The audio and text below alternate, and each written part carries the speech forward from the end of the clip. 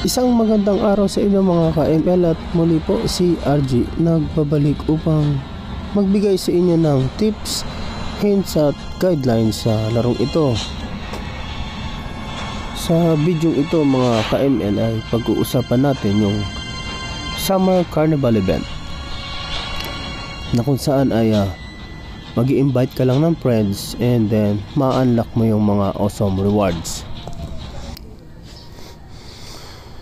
Ang rewards na makukuha natin ay makikita natin dito sa rules.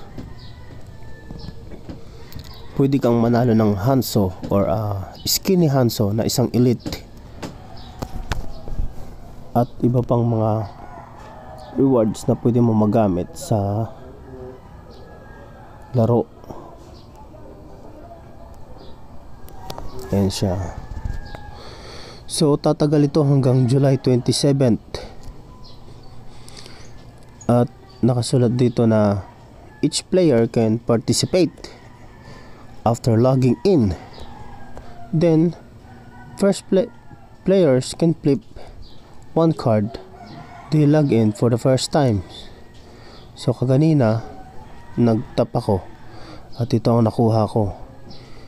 Isang ano emblems. So para ma-share ito pindutin mo lang ang share tapos yung link.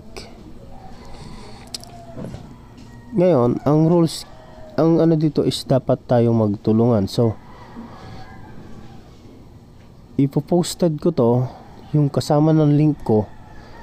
Tapos sabihin nyo sa akin kung nag-sending kayo sa akin para kumbaga ano to eh ah, bigayan. Sisendan ko kayo then sisendan nyo rin ako yung parang ganon. So, sana manalo tayo ng skin or hero. So, yun lang guys. Tapos makikita nyo rin dito sa gilid yung mga upcoming events. Yan si Claude Sifani, The New Hero, Lailia. Ito yung ano, spawning effect. Yung brawl na mirror. Epicon, nandito na. So, yun lang guys. Happy gaming, happy gaming.